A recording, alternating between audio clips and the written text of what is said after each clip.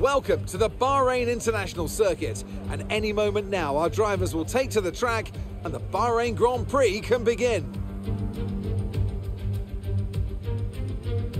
We go racing today around the 3.36 miles of the magnificent Bahrain International Circuit, with 15 corners and two good passing opportunities into turns 1 and 4.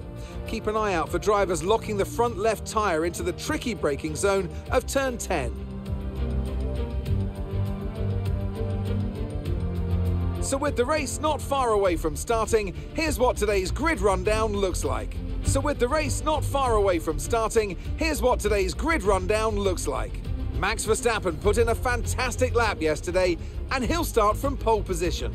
And it's Charles Leclerc in P2. Considering the rest of the grid, we have Perez, Sainz, and Sir Lewis Hamilton, and Ocon, Fernando Alonso, Norris, Gasly, and Daniel Ricciardo, Bottas, Magnussen, Guan Yu Zhou, and Mick Schumacher, Tsunoda, Albon, Sebastian Vettel, and Lance Stroll, Latifi, and George Russell ends our grid lineup.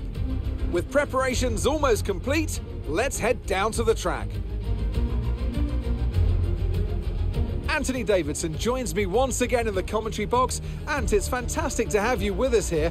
But I'm curious, as a man with experience out on the track, how do you stop those pre race nerves from becoming overwhelming when you're lining up on the grid? Well, I imagine they'll be starting to feel the adrenaline as they anticipate the rundown into turn one, a bit like preparing to go into battle.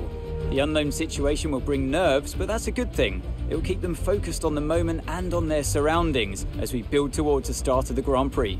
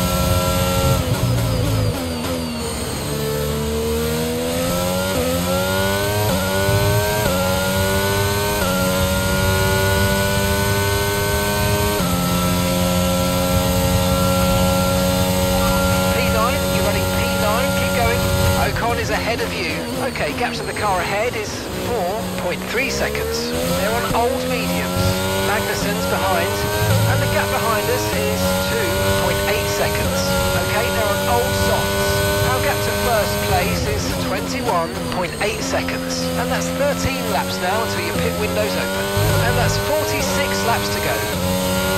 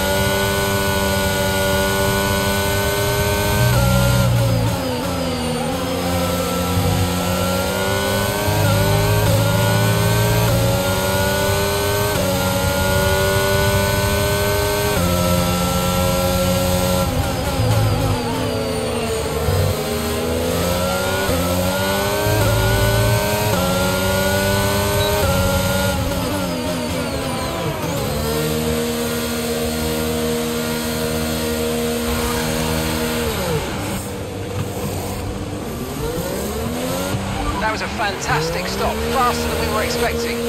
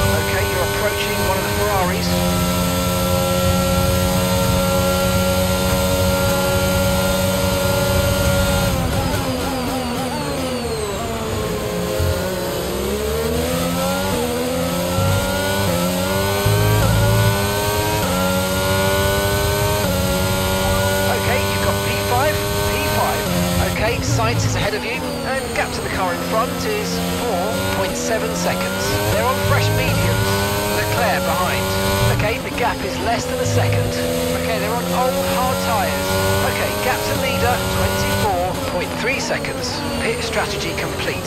See these tyres through to the end now. 21 laps to go. Okay, gap ahead is 4.9 seconds.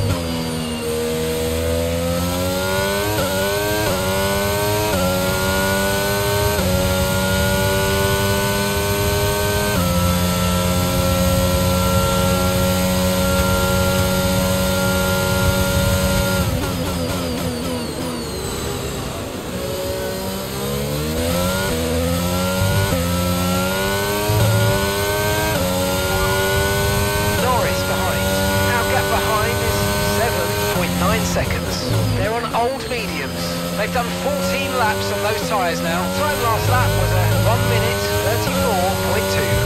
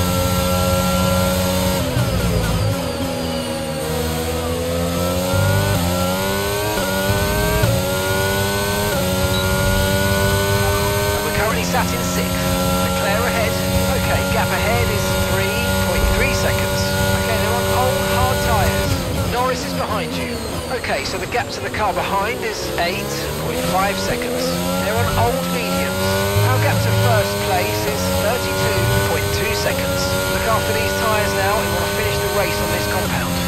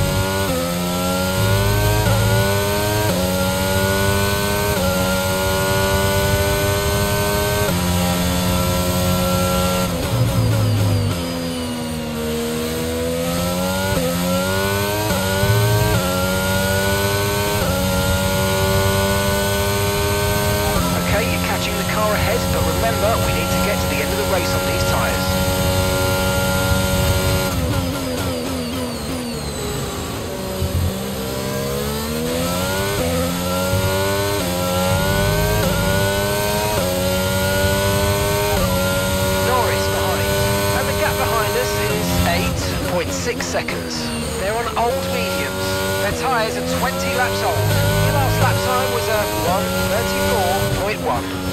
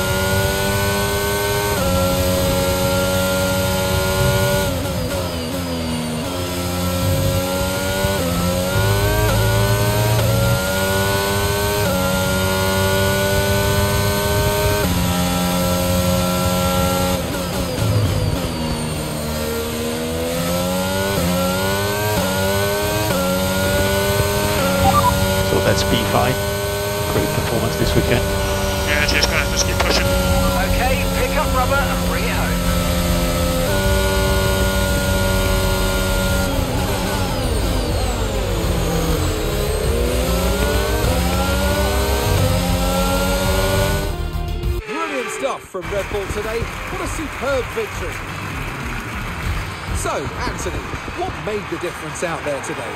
Well, I honestly feel it was down to the driver and car today. I mean, we can talk driver skill all day, but if you don't have a solid team to back that, you're never going to get anywhere. When you hit that sweet spot of having both an excellent driver and an incredible car, that's when you see results like those we witnessed today.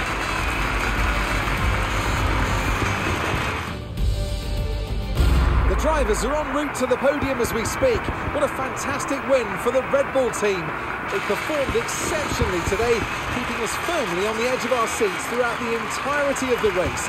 Congratulations to everybody at the team.